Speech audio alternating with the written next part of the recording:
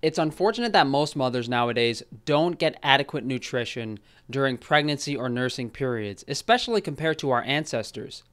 I'm sure everyone has a story about a grandmother who popped out 10 or 15 kids like it's nothing. Now, people can't even have one child. We're practically infertile.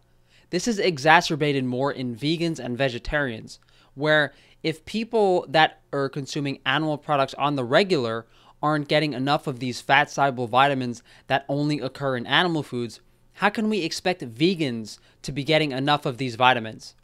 We're going to take a look at what nutrients vary in breast milk and why these vitamins are so important.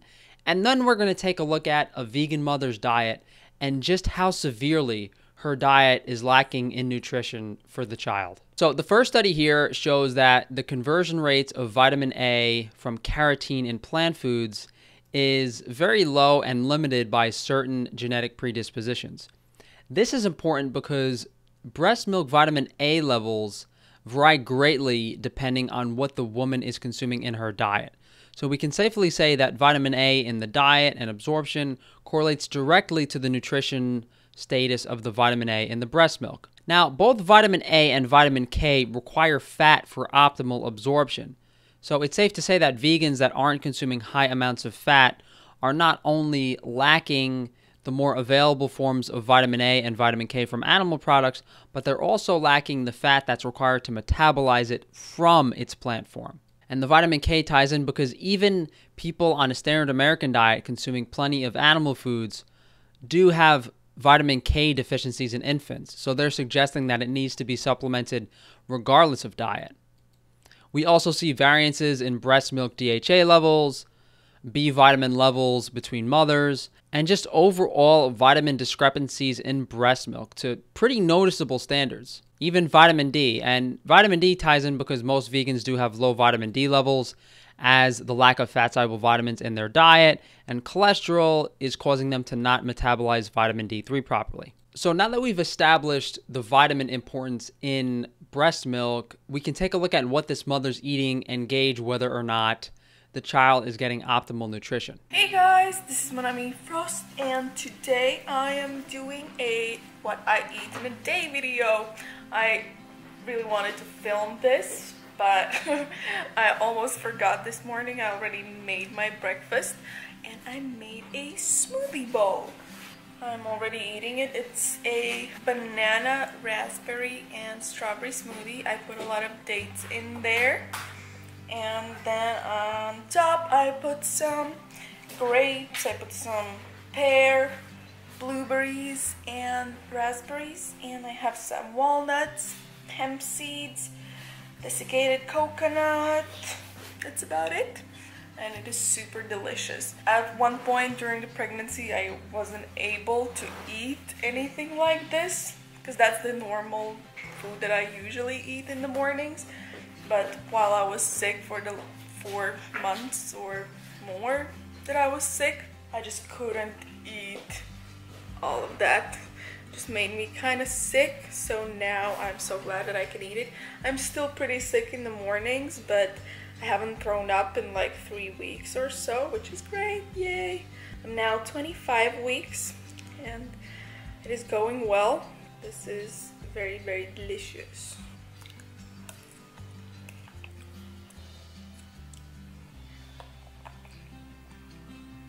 So the breakfast that I'm having, it's just taking me a long time to eat because since I am pregnant, I cannot eat as fast and as much as I used to because I just feel like I don't have enough space. Who's that? It's Gabby. Oh, Yummy Still probably gonna take like a half an hour or so. Already taken a half an hour to eat. Just feeling a little bit sick now and got lightheaded. Can't finish my breakfast. I'm trying. Getting waves of a little, little bit of nausea. It's gonna pass. It's just I woke up really early. I am feeling pretty sick, so I will take a nap in a little bit. I just had to wrap up some presents. Christmas presents We'll take a little nap. I still haven't finished that breakfast. That was a lot. I'll probably finish it a little bit later. I don't mind eating smoothie bowl that has sat outside for like two hours. so I had a nap. you can see my hair is a mess. I just, and I am feeling a little bit better. I just need to start eating because if I don't eat after I sleep right away, then I kind of start feeling sick again. I really just want to eat some sandwiches. I don't think anything really needs to be explained about the meal. There's no significant nutrition in there. All she's having is sugar and starch and carbohydrates. I think people are a little bit out of touch with nature and how survival actually would have been for mothers. And if you're sitting here as a pregnant woman, you're nauseous, you can barely eat, you can barely function. I don't think this is how humans are supposed to be, and I don't think this was how humans ever were until modern access to food and lack of nutrition. I don't want to go too far into that, but so far at this point, I mean, I think what we'll see is that these vegans tend to eat as well as act like children. So I'm making sandwiches for me with some coconut uh, butter Coco Mega. And this is a pate. I like sprayed it all over my hands. Wait, so this is a pate, a vegan pate. I'm not sure country is it from, but we got it from Latvia because they sell these in Latvia. This is onion pate. It is super delicious. So I'm gonna put all that on the sandwiches and I'm gonna put some cucumber on top and maybe some tomato. These are the sandwiches that I prepared. On this one I put that um, onion pate, but on this one I just left the butter and tomato. I love that. And just sprinkled a little bit of salt. And I poured in a little bit of, tiny bit of green tea and some water in here.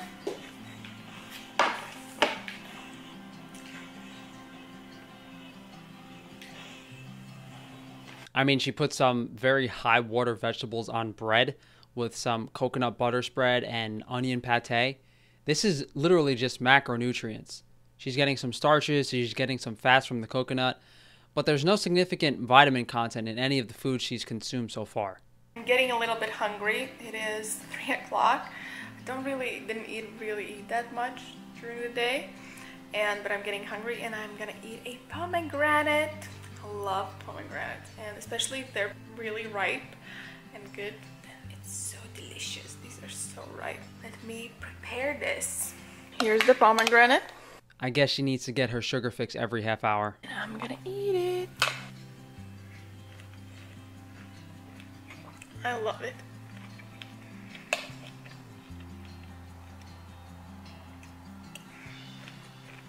So I've gotten quite hungry and I prepared some food for myself. It was really, really quick because these are just some noodles. We got these noodles at Costco.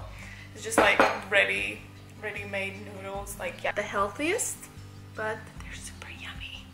I love noodles. Acting like a child, eating like a child, kind of goes hand in hand with the vegan diet. Uh, this meal she's having is, again, just pure carbohydrates. Uh, I'm very curious to see how many meals this girl is going to have today.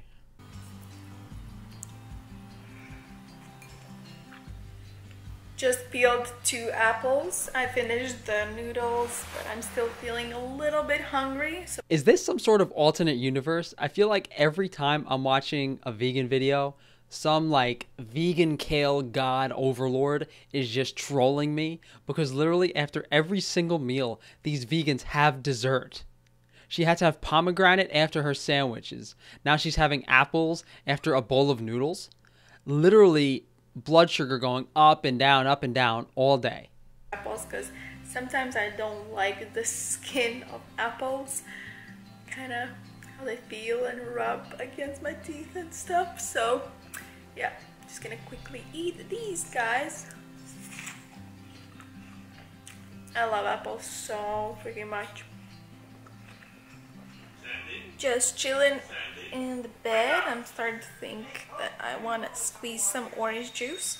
Baby is moving. I just posted a video on Instagram how she's moving. I'm trying to film it now with this camera.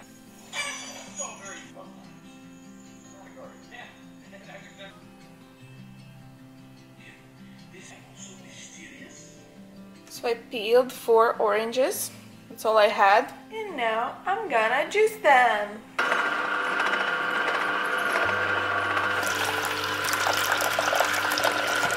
Got the juice.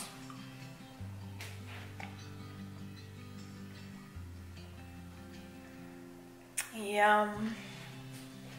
Do you want some, baby? Careful. The sugar addiction is insane. I honestly didn't expect this coming into this video. I really don't understand how by playing some like soft acoustic guitar music and going up to the camera and talking with a really soft voice can cover up the complete lack of nutrition in your diet and your addiction to sugar. But I guess people tend to take things at face value and are under the guise that fruits and vegetables are the holy grail as it's what we've been told our whole lives. So I decided for dinner to make some bulgur wheat salad. It is a salad eh, that is from my recipe book. I really, really love it. It's super easy and simple and very nutritious and delicious. And here I have already got some beans and chickpeas in and I've just just boiled up some bulgur wheat and I have some red pepper and yellow pepper and a red onion and my hubby is gonna bring home the parsley to add to it. So yeah, I'm just gonna slice up the peppers and gonna put them all in. Just finished making this bulgur wheat salad. Looks so delicious. I love it. Yummy. I'm gonna plate it up and eat. Daddy is home and we're just gonna eat that salad.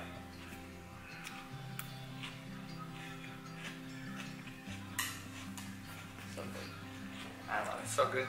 So good. Mm. So fresh. feel tired from making it. like standing too long. I'm gonna take forever now eating this. So we're gonna share a pastry, savory, that my grandma brought us from Latvia. I don't even know what flavor this is. No idea. Surprise. Might be like a veggie one. Like Spinach and stuff, maybe. Which tofu could be. She said there was tofu. Mhm. Cute.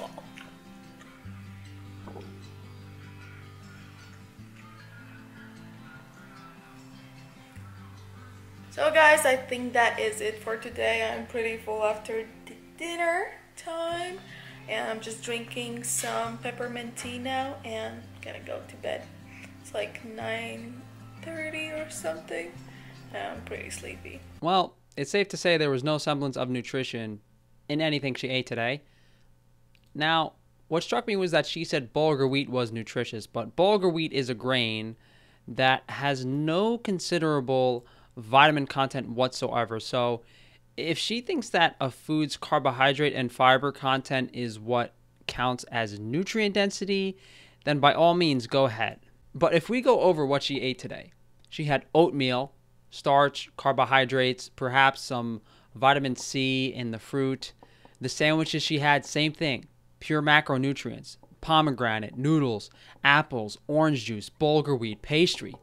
All this woman has eaten today is sugar from fruit and starch from grains. There is no significant vitamin content in any of the foods she's consuming, and she genuinely believes that it's nutritious. How does she not wonder why she acts like she's in a coma all day, laying on the couch?